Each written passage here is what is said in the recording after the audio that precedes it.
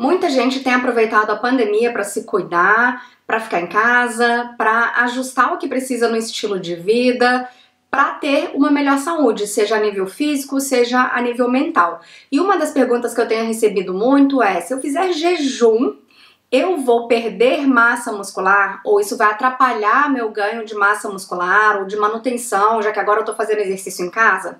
E depende, porque na verdade esse ganho ou manutenção de massa muscular depende de vários mecanismos, inclusive a nossa produção hormonal, a nossa produção de hormônios de estresse e o consumo total também de calorias e de proteína.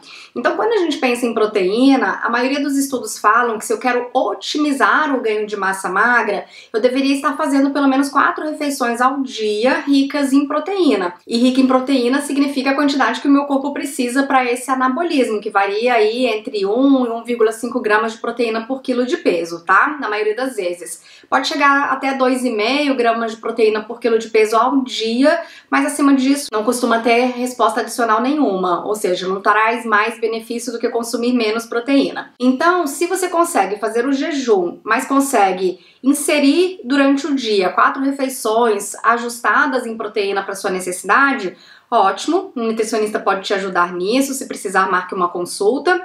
E além disso, você tem que ter cuidado com o consumo de carboidratos e consumo de calorias totais. Porque se você faz jejum, mas depois você fica tão desesperado de fome que você come muito mais, você pode até manter a sua massa magra, mas pode também ganhar muita gordura, o que geralmente as pessoas não querem. E ao contrário, se você faz jejum e quando você vai comer, você não consegue comer na quantidade adequada, ou seja, você já fica rapidamente cheio e não consegue fazer um consumo adequado de calorias, você também pode perder massa magra, porque no total, no final do dia, você não está consumindo nem calorias nem proteína na quantidade que você precisaria.